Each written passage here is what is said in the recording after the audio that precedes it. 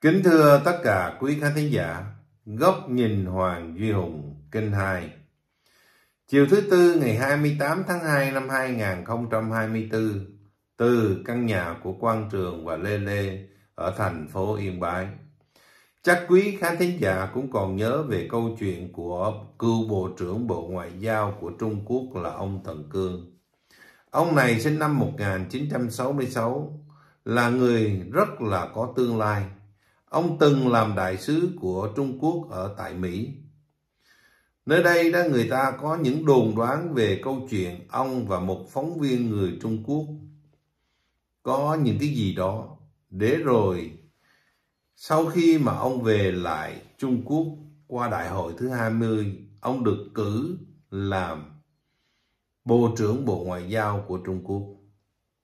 Nhưng theo Reuters, thì vào ngày 25 tháng 6 năm 2023 là ngày cuối cùng mà ông xuất hiện trước công chúng.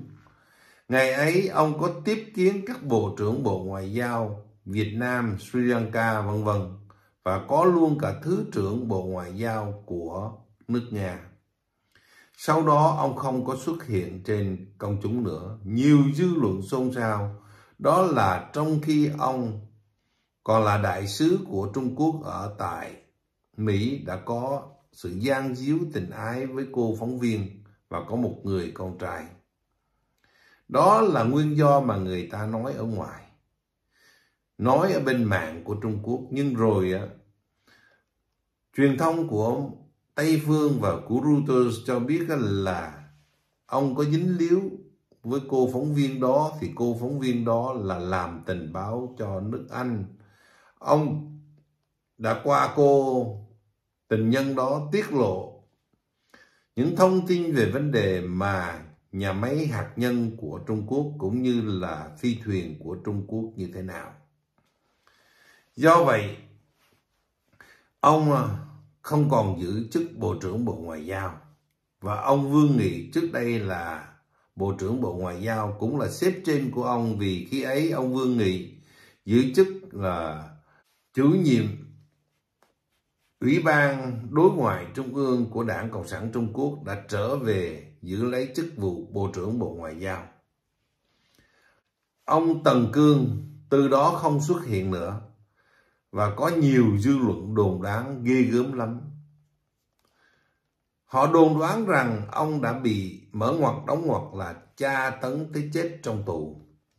Và cô tình nhân của ông đã trốn đi mất luôn biệt tâm biệt tích tất cả những gì liên quan đến Tần Cương và cô tình nhân đó đã bị xóa hết rồi.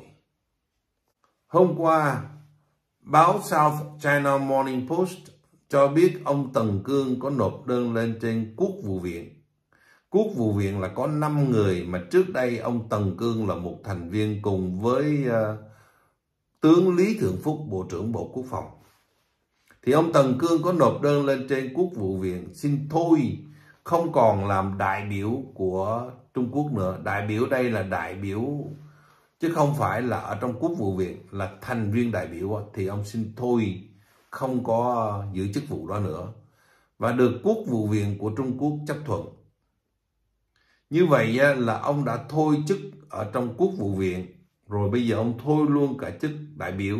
Ông chỉ còn có cái chức đó là ủy viên trung ương của đảng Cộng sản Trung Quốc thì có thể nay mai họ cũng cho ông thôi chức ủy viên trung ương của đảng Cộng sản Trung Quốc. Dẫu vậy, à, South China Morning Post không có đưa một hình ảnh nào người ta nói là còn sống của ông Tần Cương. Không có xuất hiện những hình ảnh nào, không có một video nào hết. Chỉ nói rằng là bản tin như thế. Riêng uh, tướng Lý Thượng Phúc thì cũng y hệt như vậy, cũng đã được uh, quốc vụ viện chấp thuận. Không còn là Bộ trưởng Bộ Quốc phòng và đã thay thế người rồi nha. Bây giờ cũng y hệt như ông Tần Cương, không còn ở trong đại biểu quốc hội của Trung Quốc nữa. Và có lẽ nay mai cũng sẽ thôi không giữ chức ủy viên trung ương đảng Cộng sản Trung Quốc. Những thông tin của South China Morning Post cho thấy à, nếu mà gọi là xét bình thường thì như vậy các ông cũng còn còn hiện diện trên thế gian này. Nhưng mà nhiều người Mỹ họ thắc mắc tại sao đã như thế không đưa những hình ảnh các ông còn đang ở đâu đó. Các ông nộp thư xin từ chức này là ở đâu, như thế nào và trong tình huống nào thì không hề có những chi tiết đó. Nên một số người vẫn nghi ngờ, vẫn nghi ngờ, đây là một số người vẫn nghi ngờ về vấn đề dư luận, nghĩa là ông Tần Cương không còn trên thế gian này. Và có lẽ ông Lý Thượng Phúc đang nằm ở trong nhà giam. Đó là những nghi ngờ. Tôi xin gửi thông tin này đến quý khán giả và tôi nghĩ rằng à, những nghi ngờ đó nên được giải tỏa bởi quốc vụ viện của Trung Quốc. Vì à, chúng ta thấy à, trong những ngày qua có những sự thay đổi rất lớn từ bên phía Trung Quốc mà không có một sự cắt nghĩa nào hết. Nên sự lan tỏa nghi ngờ đó là một chuyện bình thường, một chuyện bình thường. Nhưng mà nó không bình thường là khi mà nó lan tỏa ở trên mạng xã hội ở Trung Quốc như Weibo thì ngay lập tức nó bị chặn đứng. Thì đó là điều tại sao chúng ta thấy truyền thông của Tây Phương và Mỹ cho rằng có những sự xáo trộn về chính trị rất lớn ở Trung Quốc là vì lý do đó.